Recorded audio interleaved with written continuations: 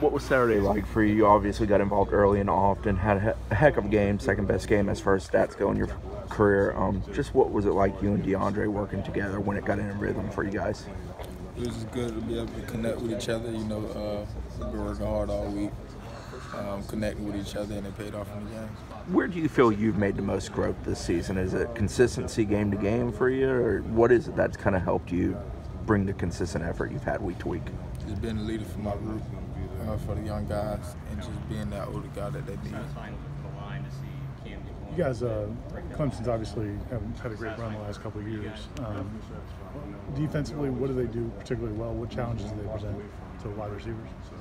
I mean, they like play man to man, come in your face, um, you know, try to be physical and uh, blitz. So it's gonna be a challenge. Is it? I mean, how much fun is it to get to play in games like this? I mean, this is what I live for. I live for these type of games, and hopefully, this is what everybody else live for. And um, it's a challenge, and I'm up to it. When when you hear you guys are a two plus touchdown underdog at home, does it cause a little fire in the belly? Does it cause any emotional response, or do you just put that out of your mind? I mean, um, we all just got to line it up. They got to come and play. We got to come and play. Um, they, they, we was the underdog versus Miami, but we still lost. But look at the outcome. And uh, I feel like we could play anybody once we put our mind to it and go out there and play and execute. And uh, we're gonna see on Saturday. Coach Taggart said yesterday, people were saying, "Oh, you got you guys have a lot of tough teams coming up," and he was like, "Well, they got to play a tough team too." You like that he's got that mindset to carry it throughout the team. Yeah, I mean, we're not no pushover. We're a tough team too. Just had some uh, some ups and downs. I feel like we're on the rise now. So, yeah. What do you think's made the biggest difference for the offense in recent weeks as far as kind of getting it going and being more consistent snap to snap?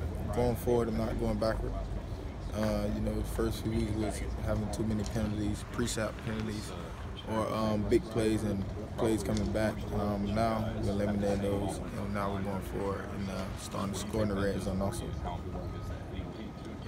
Between like from the end of the first quarter, I know you guys got to slow start, from the end of the first quarter till like into the fourth quarter, I mean, you guys were averaging like nine yards a play or something. How much confidence does that give the offense going forward? I mean, it's good because you know um, all year fast-paced offense. You know, um, it's all about big plays, and now we're starting to make these big plays. Everything's starting to pay off, and we all see how it's really supposed to be.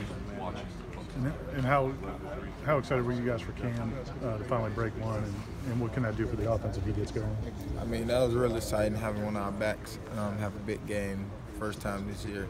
I mean, it give everybody confidence, the O-line, the coaches, the play caller, see everybody confident. The ball's getting spread around like it was. I think 11 different guys caught passes on Saturday. How much does that help kind of take the focal point off an individual like you, for example, when you're having a good day? I mean, it's hard because uh, it's hard for a defense because you know you don't know who's getting the ball. Everybody can catch it. Everybody can run routes and play. So you can't focus on one guy and try to bracket that one dude because you got another dude that might get the ball and take it to the house. So it's really it, it really uh, works against defenses like Clemson.